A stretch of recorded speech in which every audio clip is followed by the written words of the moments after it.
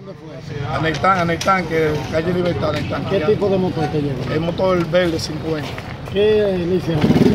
Bueno, de veramente se metieron parte atrás, se metieron parte atrás, rompieron, después, para sacar el motor, rompían adelante, después rompían adelante, se lo llevan por ahí mismo lo No prendieron. No tengo conocimiento que ni vecino ni a nadie que sentí nada. ¿Cuándo tú te das cuenta que te roban el motor? Bueno, yo me levanto hoy, yo hoy porque yo me levanto a las seis y media de la mañana para yo trabajar en el mercado.